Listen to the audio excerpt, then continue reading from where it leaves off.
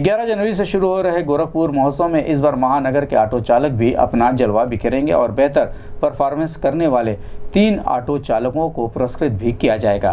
Gorakhpur news से बात करते हुए एसएसपी डॉक्टर सुनील गुप्ता ने बताया कि महानगर में यातायात व्यवस्था में महत्वपूर्ण योगदान निभा रहे ऑटो चालकों को गोरखपुर महोत्सव में प्रतिभाग करने का अवसर मिलेगा, जिसमें बेस्ट ऑटो और बेस्ट ऑटो चालक का पुरस्कार दिया जाएगा। एसएसपी ने बताया कि इसके लिए एक कमेटी बनाई जा रही है, जो फिटनेस कैरेक्टर ऑटो चालकों के बातचीत के तरीके सहित अन्य बिंदुओं की जाँच करेगी और अपना निर्णय सौंपेगी। गोरखपुर न्यूज़ से बात करते हुए एसएसपी डॉक्टर सुनील गुप्ता ने बताया।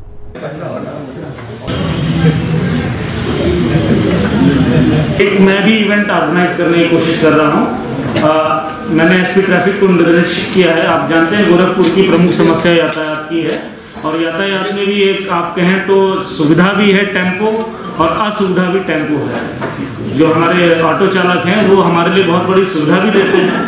और कभी कभी जो जैमिंग है जो प्रॉब्लम है वो भी कई बार ऑटो चालक की वजह से है। तो मैंने अभी एसपी ट्रैफ़िक को ये निर्देश दिया है कि ऑटो चालक के लिए एक इवेंट ऑर्गेनाइज करेंगे हम जिसमें किसी एक दिन हम उन, उनको बुलाएँगे।